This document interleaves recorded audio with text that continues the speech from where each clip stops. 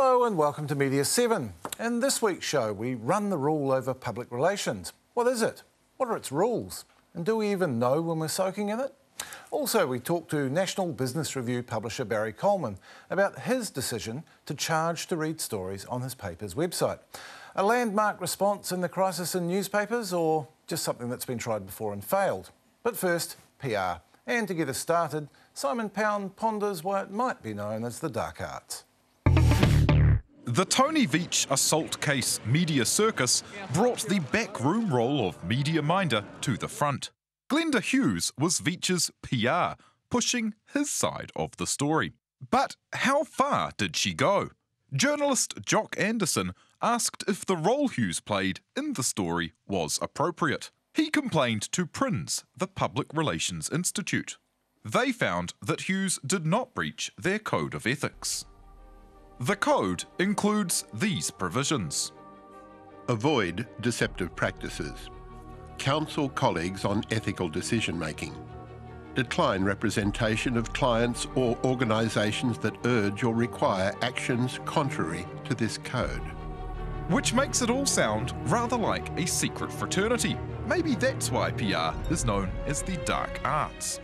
Further to rejecting the complaint, PRINZ stated the media need to accept that the hiring of people to provide professional advice regarding media or communication matters is no different to hiring a lawyer, accountant, or engineer. The idea that it takes professionals to navigate the media minefield has some merit when you see the pressure the spotlight can bring. But does involving PR lessen or intensify the glare? And what is the appropriate role of PR professionals in public interest stories? Joining me to talk about what's right and what's not are AA spokesman and PRINZ Northern Division Chairman Simon Lambourne. Yep. Karen Beanland, who was Geoffrey Palmer's Beehive Press Secretary and later fronted for Fletcher Challenge and Ports of Auckland. AUT Senior Communications Lecturer Helen Sissons uh, author of the text Practical Journalism How to Write News, and director of Kiwi Public Relations, which helps charitable groups sell themselves. And the man you saw before, Truth's chief reporter Jock Anderson, whose complaint against Glenda Hughes reminded us all that the Code of Ethics existed. I should note that we did approach Glenda Hughes, who did not return our calls. But welcome to you all. Thank you, you for turning up. Uh, Simon, I'll ask Jock about this in a moment, but what did PRINZ actually do with his complaint about a possible breach by Glenda Hughes in the Veitch case? Well, the first thing they did was they set up an independent investigating, investigating committee of very senior practitioners. It was the national president of PRINZ, uh, there was a fellow of the institute, and a life member. Now, that's a very senior grouping. They investigated the complaint, uh, they spoke with Glenda, and they ruled that there was no breach.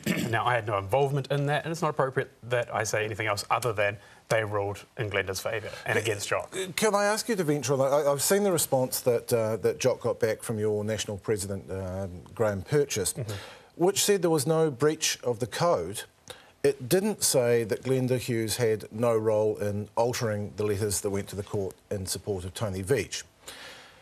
Can we assume that if they said there was no breach of the Code of Ethics, then she didn't do that? Because it doesn't say that in the letter.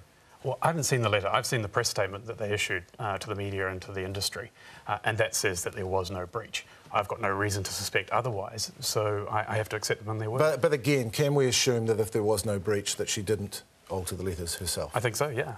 Hmm. How many times, how often does it happen that uh, someone does fall fell or there are complaints against your code of ethics? Well, there haven't been that many complaints over the years. And I think, as you said earlier, you know, you've only just realised that there is a code of ethics Which for, I think for the is Institute. possibly a good thing. Yeah, and, we were talking earlier on today about whether actually there was a code for journalists as well. Um, so sometimes these things aren't known.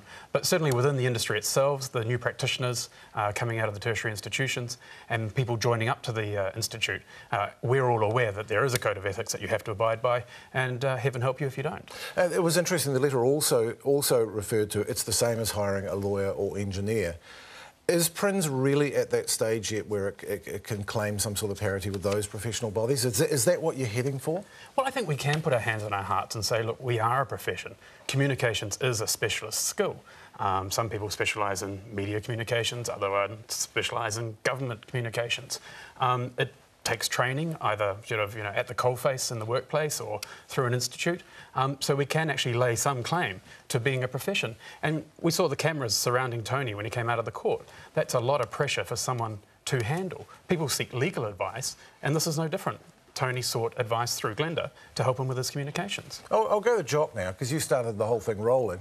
Do you accept that people in, in those positions where they're under the media spotlight are doing the right thing and are pretty much obliged to hire PR advice? I don't think so, and I actually think that the so far the response from Prinz is absolute rubbish.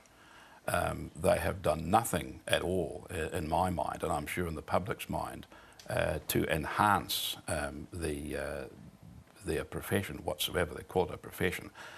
Um, what we have to constantly remember in the Veitch affair is that both sides engaged PR people to manipulate the media at the very highest levels uh, to ensure that the particular parts of their case or their argument or their, their, uh, uh, their beliefs and views uh, were put into the media.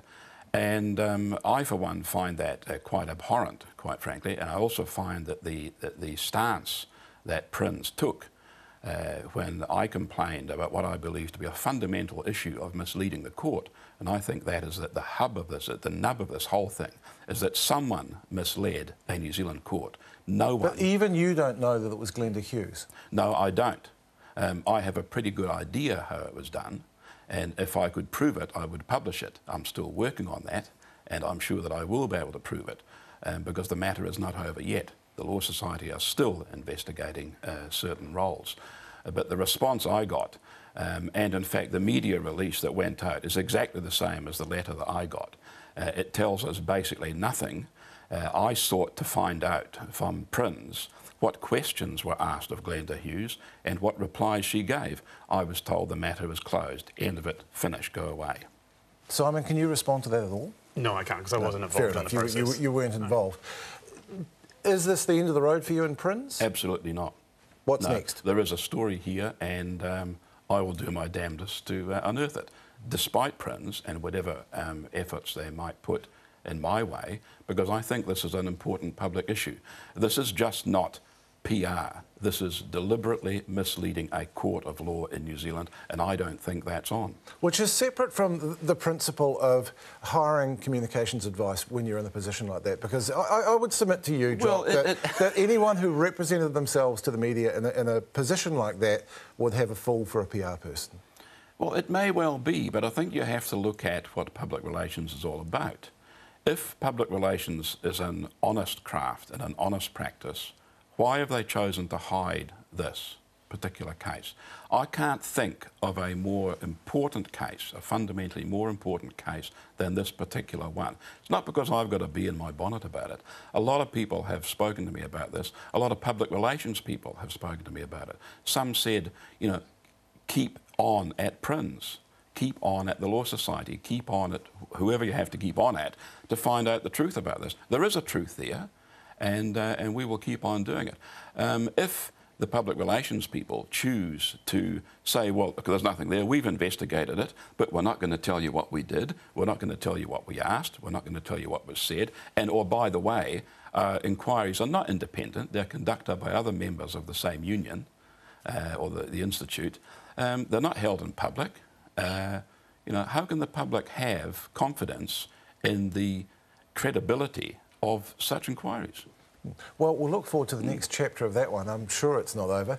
Uh, Karen, you worked in both political and corporate public relations. Yes. Were there ever times when you felt it wasn't an honest profession where you felt eth ethically challenged? Uh, no, I, I, have never felt uh, ethically compromised in anything that I've ever done. And I think that um, what needs to be understood that good public relations involves the person, the practitioner, uh, establishing a relationship with the, the organisation that they're representing or working for, where there is a situation of trust and um, of, of full understanding and exchange of ideas. And a good PR person, if there's a problem in the organisation, is telling the management that there's a problem in the organisation and they've got to address the problem. And if management doesn't, does that mean the PR person's hung out to dry? And takes the flak. Potentially, it can it can mean that, but you, you, know, at the end of the day, you probably have to have a stand-up argument, and I, have fought some battles along those lines my, in my time, but I've never been a, ha, put in a position where I've felt ethically compromised by what what I've had to do. The the fine line comes when you're when you're asked not to say something you know, when, when you've got a situation where there is perhaps a very valid reason to say nothing. And, you know, that can be in a situation where there's going to be a legal inquiry, for instance, where there's going to be a health and safety inquiry. Uh, and I've been in those situations, and you just have to be upfront and say, look, terribly sorry, I'd love to tell you the full story here, but, you know, it's going to an inquiry and we can't make any more comment at this stage. Now, journalists don't like that. No, they'll they, probably think you're they lying. They don't like you for saying that. But, you know, that's the professional position that you have to take. Mm. Um, Helen, you've looked at the relationship between people in PR and journalists over some time. How has that relationship evolved?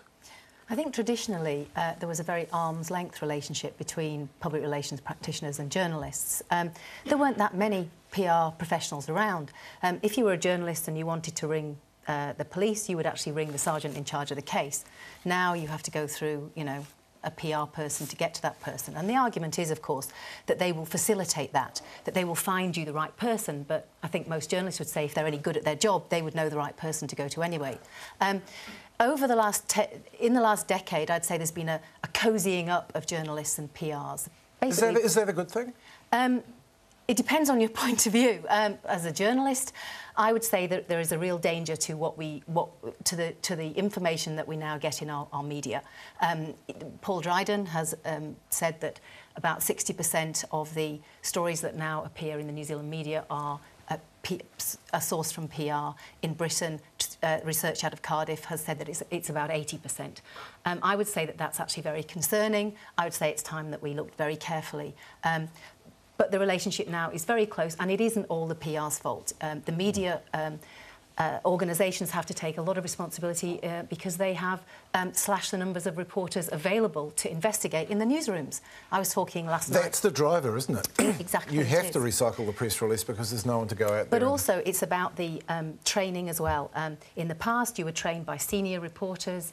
Uh, now you're trained by universities. Um, and that, I think, means there is like an interruption almost in the community of practice and the passing on of the skills. Mm. Simon, what's your relationship with journalists? What, what do you do for well, each other? Say, is some, it, is some, some, of them are great friends. Yeah. Let me admit that publicly. Um, but equally, I have to say, you know, some of the toughest interviews I've had have been actually from journalists that I've known in a personal capacity as well. I mean, I do take issue with Jock, what Jock said before uh, about public relations people being obstructive. Uh, the one phone conversation I've had with him, he actually used me as the touch point for our organisation um, rather than going to the person directly. So there I was acting in a facilitating and helpful role. Um, is, is, that good PR? Because I'm, you know, in, you know, in journalism jobs, I've always been grateful when someone can do that, can direct me to the person who has what I need. I've been doing it for approximately 14 years. I can only really recall one occasion where an editor has absolutely abused me at the end of a phone. Uh, I would say 99.9% of all the media contact I have is very friendly, appreciated. Um, and sure, we may not always agree or uh, we may disagree on issues, um, but I always try and help them with their inquiry, point them to the appropriate person, and ensure that that person is as well briefed as they can be. Do you ever um, get on the phone and shout down the line at a journalist who you think has stitched you up? or is that just not something you do? I, I, I just don't believe it's appropriate to, to, get on the phone and yell at someone. Um, I think I, I, never was a journalist. Some PR people were. Um, I never trained as a journalist, but I have an understanding of what they're after. Um, so when they approach us with a story or an inquiry, you know, I try and help them create that story as much as possible. Um, if we're looking at a piece of information and, and I know well the journalist is going to ask this question next, then don't wait for the journalist to ask that question. You know, provide them with that information up front. Hmm, and we'll, we'll talk about why journalists go into PR in the, in the next segment. But Jock, you rang Simon. Up on this? Yeah, I mean, you rang, clearly I'm, you talk to these people sometimes. and I don't actually believe what I'm hearing. Um, if, if, if any PR person barked down the phone at me, it would go in the paper, word for word, verbatim. Uh, with plonker on top of it. now, picking up, picking up on Helen's point about the police, I could quote you, and I have got mountains of information to show you that as far as public relations and, and media communications are concerned, the New Zealand Police would have to be one of the worst organ- publicly funded organisations that I have ever had to deal with. Brief example a few months ago, uh, our paper Truth decided to do a campaign on knife crime. We contacted the so called communications managers from the Auckland uh, Police District, the Counties Manukau Police District. As everyone knows, Counties Manukau is the busiest crime district in the whole of New Zealand.